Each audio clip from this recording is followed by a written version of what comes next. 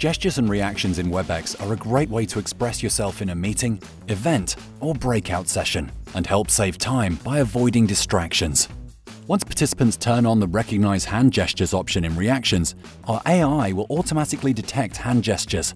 Whether users are cheering the speaker with a clapping hands reaction, giving the thumbs up, or just want to ask a question, users will see the gestures and reactions displayed as an emoji in their video window. Gestures and reactions, making Webex meetings more fun, more productive, more inclusive.